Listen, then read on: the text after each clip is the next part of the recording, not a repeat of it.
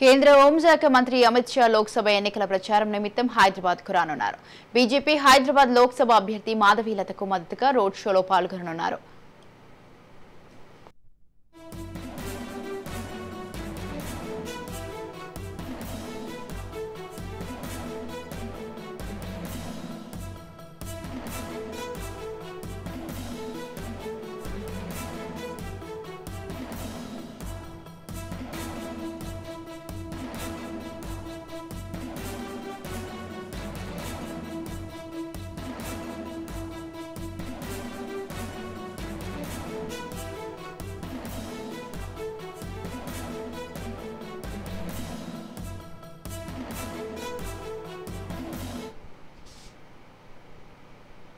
కేంద్ర ప్రభుత్వ సంక్షేమ పథకాల లబ్ధిదారు లబ్ధిదారులను కలవడంతో పాటు ప్రతి ఇంటికి వెళ్ళి మోదీ పదేళ్ళలో ప్రవేశపెట్టిన సంక్షేమ పథకాలు సాహసోపేతమైన నిర్ణయాలు తెలంగాణకు చేసిన సహాయాన్ని వివరించడంతో పాటు కేంద్రంలో మూడోసారి భారతీయ జనతా పార్టీ అధికారంలోకి రావాల్సిన ఆవశ్యకతను ప్రజలకు వివరించేలా పార్టీ నేతలకు మార్గనిర్దేశం చేయనున్నట్టు పార్టీ వర్గాలు తెలిపాయి.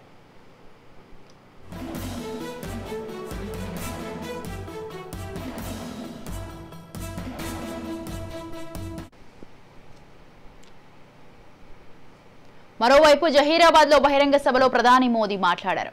కాంగ్రెస్ బీఆర్ఎస్ పై విరుచుకుపడ్డారు. కాంగ్రెస్ బీఆర్ఎస్ రెండు ఒక గూటి పక్షులే అని ఆరోపించారు. కాళేశ్వరం పేరుతో బీఆర్ఎస్ పెద్ద స్కామ్ చేసిందన్న మోదీ కాళేశ్వరం అవినీతిపై విచారణ చేస్తామని కాంగ్రెస్ మాట తప్పిందన్నారు.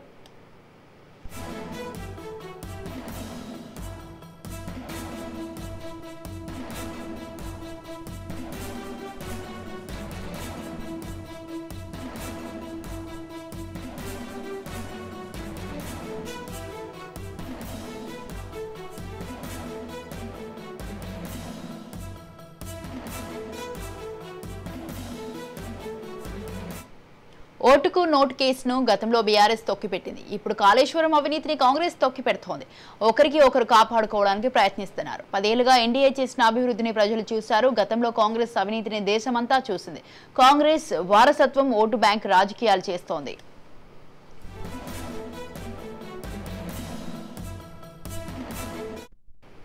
తెలంగాణలో బీఆర్ఎస్ నాశనం చేసింది.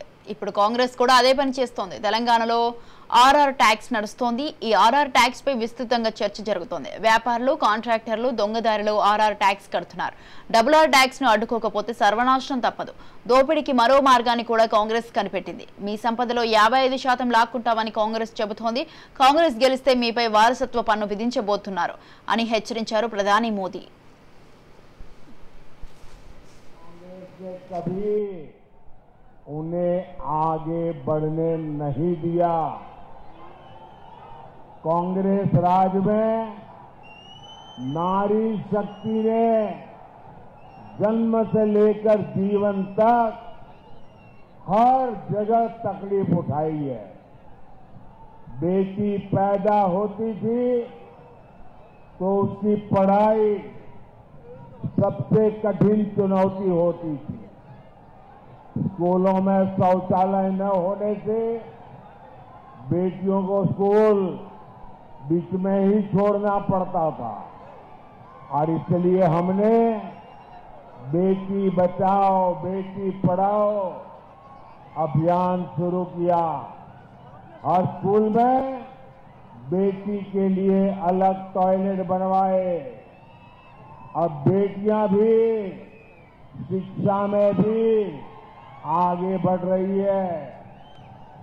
आज पीएम आवास में बनने वाले घर भी मुख्य रूप से महिलाओं के नाम पर ही दिए जा रहे हैं। कांग्रेस सरकारों में महिलाओं के अधिकार ही खतरे में नहीं पड़े महिलाओं की सुरक्षा भी खतरे में पड़ी है। महिलाओं की सुरक्षा और वोट बैंक में इन्हें जब चुनना होता है तो ये वोट बैंक चुनते हैं। बीजेपी के लिए महिलाओं की सुरक्षा, महिलाओं का सम्मान, ये सर्वोपरि है। कोई भी व्यक्ति, चाहे वो कितना भी बड़ा क्यों ना हो, अगर वो महिलाओं के सम्मान के साथ खिलवाड़ करता है तो उसे बख्शा नहीं जाना चाहिए। हमने इन दस वर्षों में महिला सुरक्षा को लेकर कड़े कानून बनाए हैं। फांसी तक की सजा का कानून हमने बनाया है। कांग्रेस ने कभी